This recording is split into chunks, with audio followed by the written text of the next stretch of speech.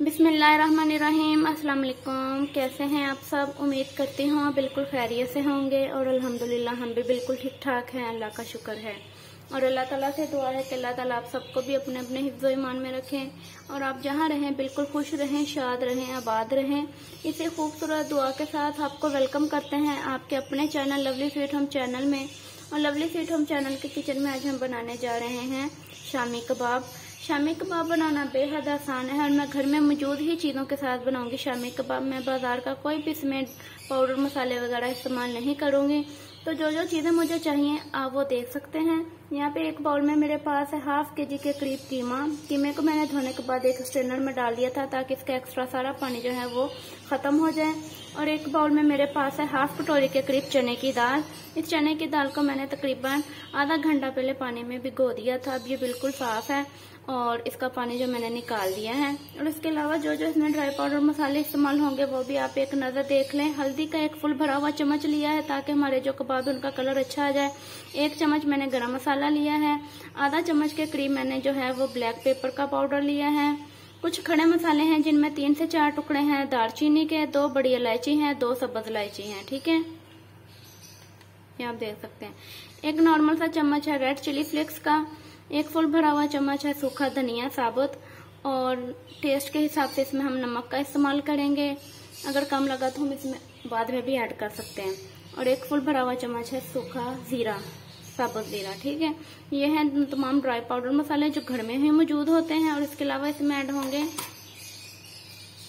लहसुन। एक फुल, एक भरा हुआ चम्मच है मेरे पास लहसुन का। आठ सब्ज मिर्चें हैं।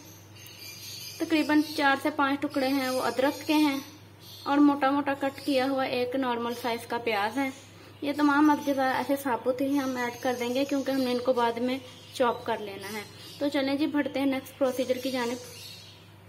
यहाँ पे जी मैंने एक बर्तन ले लिया है। बर्तन में हम अपने तमाम अज्जा जो है वो शामिल कर देंगे जिसमें है कीमा, चने की दाल तमाम ड्राई पाउडर मसाले मैं प्रेशर कुकर में नहीं बना रही, बल्कि मैं इसी सादा बर्तन में इसको बनाऊँगी। आप चाहे तो प्रेशर कुकर का भी इस्तेमाल कर सकते हैं, लेकिन मैं हल्की आँच पे इसी बर्तन में इसको गला लूँगी। साथ ही लहसुन, अदरक सब्ज मिर्चें और प्याज। तमाम अज्जा मैंने शामिल कर दिए हैं। अब हम इसमें पानी ऐड करेंगे। अब हम इसमें पानी ऐड करेंगे और इतना पानी ऐड करेंगे, बिस्मिल्लाहिर्रहमानिर्रहीम, ताकि हमारी जो दाल है वो भी गल जाए और कीमा भी गल जाए। दाल गलने में थोड़ा सा टाइम लगेगा, लेकिन जो कीमा है वो जल्दी गल जाता है।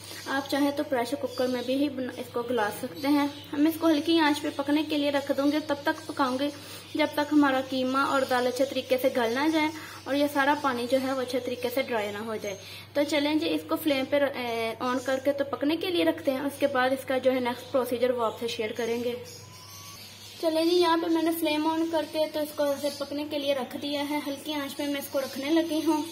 तो फिर इसका नेक्स्ट प्रोसीजर आपसे बाद में शेयर करेंगे, जब अच्छे तरीके से तमाम पानी और हमारा कीमा और चने की दाल अच्छे तरीके से गल जाएगा और तमाम पानी जो है वो ड्राई हो जाएगा।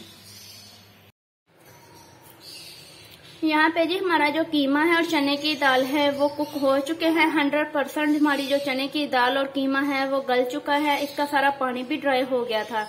फ्लेम मैंने ऑफ़ करने के बाद इसको ऐसे रूम टेम्परेचर पे ले आई हूँ। अब ये बिल्कुल रूम टेम्परेचर पे है। अब हम इसका नेक्स्ट प्रोसीजर जो है वो स्टार्ट करेंगे। चने की दाल भी बिल्कुल जो है वो कुक हो चुकी है। मैं आपको दिखा देती हूँ।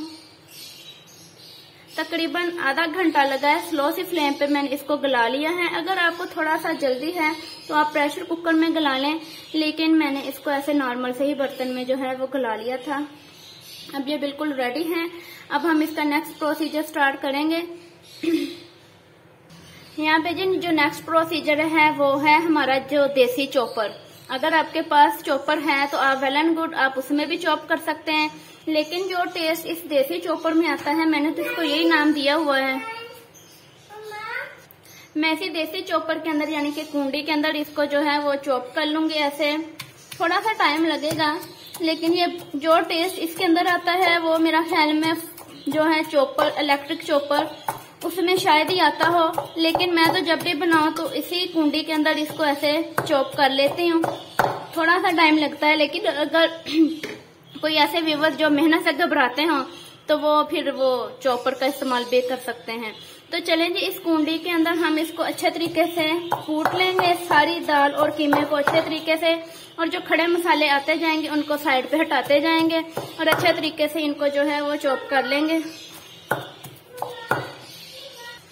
यहाँ पे जी मैंने कीमा और चने की दाल का जो मिक्सचर इस कुंडी के अंदर ऐड किया था, उसको ऐसे अच्छे तरीके से कूट लिया है। थोड़ी थोड़ी दाल के चंक्स जो है इसमें हम रहने देंगे, वो मुझे अच्छे लगते हैं शामी कबाब के अंदर। इसी तरह मैं बाकी का सारा जो मटेरियल है, यानी कि कीमा और चने की दाल का जो मिक्सचर है, उसको भी ऐसे इस के अंदर डालकर तो अच्छे तरीके से कूट लूँगी, यानी कि चॉप कर लूँगी, फिर उसके बाद का नेक्स्ट प्रोसीजर आपसे शेयर करते हैं। यहाँ पे जी अल्हम्दुलिल्लाह तमाम जो मिक्सचर है, कीमा और चने की दाल का, यानी कि शामी कबाब का जितना मिक्सचर था, वो सारा मैंने कुंडी के अंदर डालकर ऐसे जो इसको चॉप कर लिया है। आप देख सकते हैं, बहुत ही अच्छे तरीके से ये चॉप हो चुका है।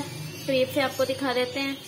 थोड़ा सा टाइम लगा, लेकिन अल्हम्दुलिल्लाह, बहुत अच्छा जो है वो चॉप हो गया है। अब सब्ज धनिया और पुदीना इसके अंदर मैंने ऐड कर दिया। इसको अच्छे तरीके से मिक्स करते हैं। इसी पॉइंट में अगर आप थोड़ी सी इसमें सब्ज मिर्चें काट के ऐड करना चाहते हैं तो आपकी मर्ज़ी है। लेकिन हमने जब इसको गलाया था, उसी दौरान जो इसमें वो मिर्चें ऐड कर दी थी। अच्छे तरीके से इसको मिक्स कर लेते हैं, सब्ज धनिया और पुदीने को। सब्ज धनिया जो सब्ज पुदीना, उसको मैंने अच्छे तरीके से मिक्स कर लिया है। अब हम इस सारे जो है मिक्सचर को इस ट्रे में अच्छे तरीके से हाथों की मदद से फैला लेंगे। और आपको एक नई ट्रिक के साथ जो है वो इसके कबाब बनाना बताएँगे।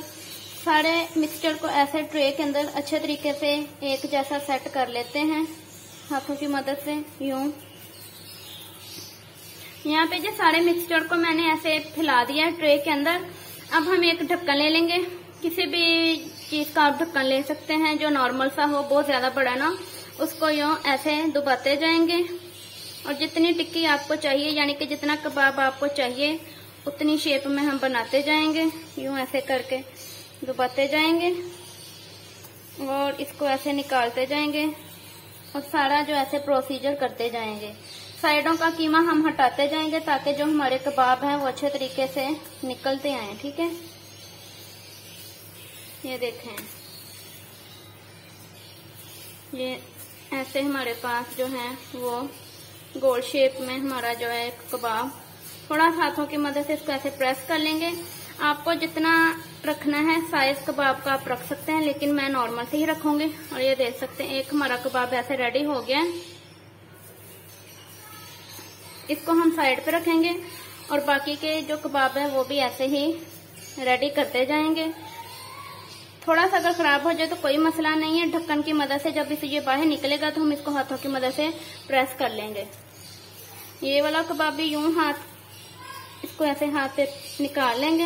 ये देखें थोड़ा सा हाथों की मदद से इसको ऐसे प्रेस कर लेंगे ताकि इक्वल हो जाए।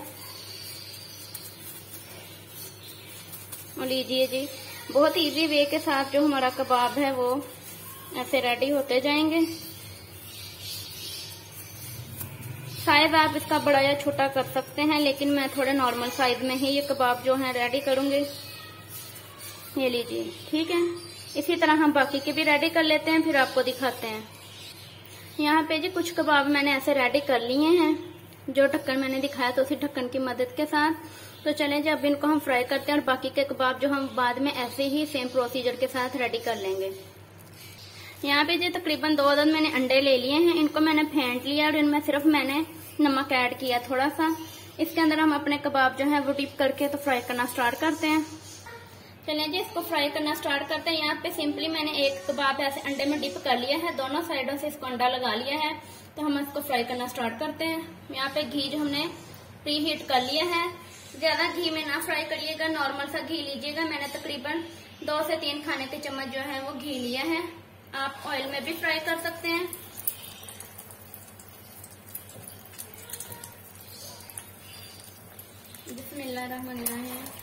ये ऐसे करके मैं सारे जो कबाब इस घी के अंदर फ्राई कर लेती हूँ। यहाँ पे जो सारे कबाब वैसे मैंने फ्राई पैन में डाल दिए हैं और फ्लेम को मैंने बिल्कुल स्लो सा रखा हुआ क्योंकि हमारा जो कीमा है और दाल है वो बिल्कुल कुक हुई हुई है। सबसे पहले हमने इनको ही गलाया था। अब हमने सिर्फ़ इनको लाइट ब्राउन सा कलर देना है और तकरीबन पाँच से सात मिनट का टाइम देंगे स्लो फ्लेम पे ताकि जो हमारे कबाब है वो जले ना, बल्कि इनका खूबसूरत सा कलर है तो चले जी, पाँच से सात मिनट बाद आपको मिलते हैं। और यहाँ पे तकरीबन पाँच मिनट बाद मैंने इनकी साइड चेंज कर दी है और इनका कलर आप देख सकते हैं, बहुत खूबसूरत सा आ गया है। तो इसी तरह हम पाँच मिनट मजीद इनको दूसरी साइड से भी फ्राई कर लेंगे ताकि दूसरी साइड से भी इनका कलर इसी तरह खूबसूरत सा आ जाए। फिर इसकी फाइनल लुक आपके साथ शेयर करते हैं। और लीजिए, यहाँ पे हमारा जो है वो यमी सा फ़ूड रेडी हो चुका है। हमारे कबाब, उनकी फाइनल लुक आप करीब से आपको दिखा देते हैं चेक कर सकते हैं आप। साथ मैंने रायता भी बना लिया था और ये साथ कैचअप है, जिसको जो भी पसंद उसी के साथ लेंगे। साथ मैंने वाइट बॉयल राइस बनाए थे और कुछ सैलड का अहतमाम किया है।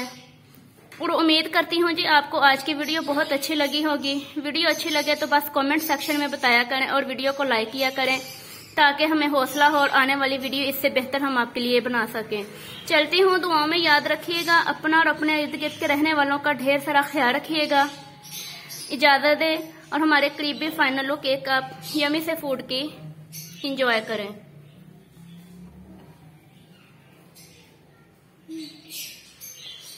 इजाज़त दें, अल्लाह हाफिज।